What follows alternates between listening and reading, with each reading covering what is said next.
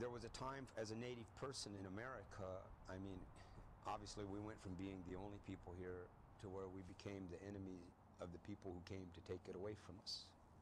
And, and you know, and, and this is what genocide and manifest destiny was all about. So we, we had that experience. And then by the 1900s, by the beginning of the 1900s, pretty much we had all been confined and contained into reservations or whatever, and, then- and then taken off into the educational religious systems as children taken away. And, and, and this was not an aberration. Taking the children of the native people was that was the standard, and, and feeding them off into the religious educational systems.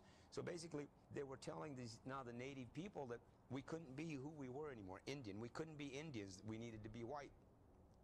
So here we were, historically speaking, in a situation where we couldn't be who we were, and we didn't want to be, right? Who our oppressor wanted us to be. So I think that that's what that, that whole that whole period of that so-called that whole period of that drunken Indian time, that so-called period of time where the drunken Indian, where that image and that stereotypical thing came.